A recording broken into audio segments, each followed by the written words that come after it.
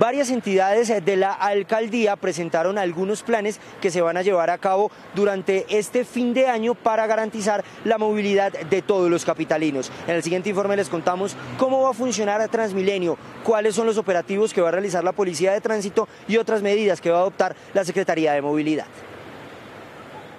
Transmilenio. El servicio se extenderá hasta la medianoche los días 7 y 13 de diciembre, fechas en las que se va a festejar el Día de Velitas y se llevará a cabo la ciclovía nocturna. Estos cambios también se implementarán del 16 al 23 y el 31 de diciembre.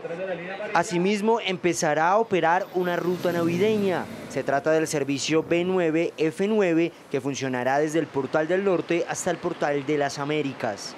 Policía de Tránsito. Desde ya se están preparando los operativos para los fines de semana y festivos de fin de año.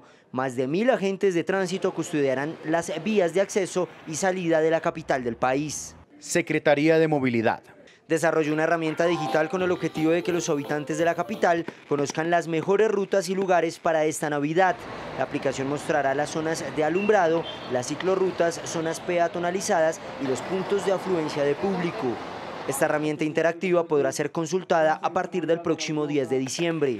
Además, habrá modificaciones en el pico y placa. La unidad de mantenimiento vial también hará parte del plan Navidad, interviniendo algunos corredores de acceso a la ciudad.